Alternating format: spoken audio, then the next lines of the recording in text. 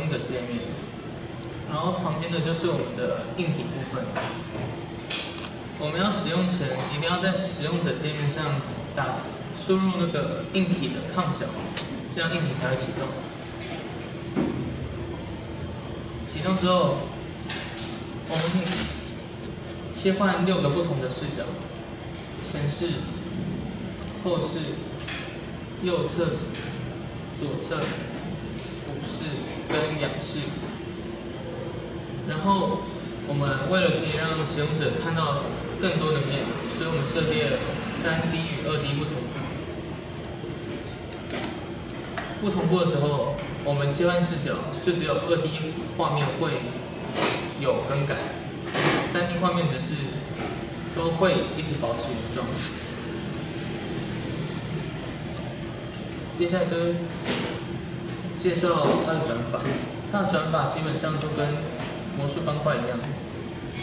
可以上下左右、顺时针、逆时针，然后可以按照自己的需求调到不同的视角去转它。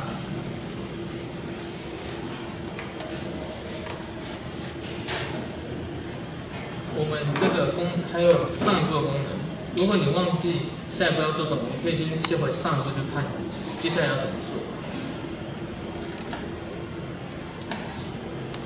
我们还有设为还原点的功能，只要我们按下设为还原点，下一次我们想要继续做这个题目的话，我们就可以按回到还原点，它就回到这个画面，我们就可以继续解它。如果我们解不出来的话，我们可以选择按重新开始，这样子软体跟硬体它们都会回到初始状态。好，我按回到还原点，它就回到刚刚我们设为还原点的地方。如果你觉得转不出来，按重新开始有点无聊，我们可以按自转。按自转的话，它就自己自动把它解出来。然后我们可以趁现在调速度，往下调的话是调慢，往上调是调快。然后它自动解解完之后，它会跳出一个 message box，显示已完成。我们自动解还有一个功能。就是你按自转的时候，你可以随意的按暂停，然后去做，把它完成。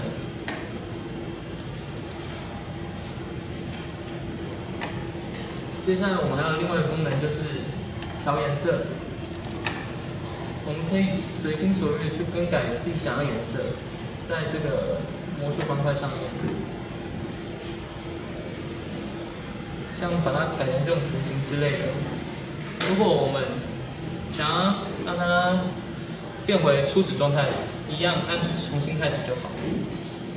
好，这次介绍到此为止，谢谢大家。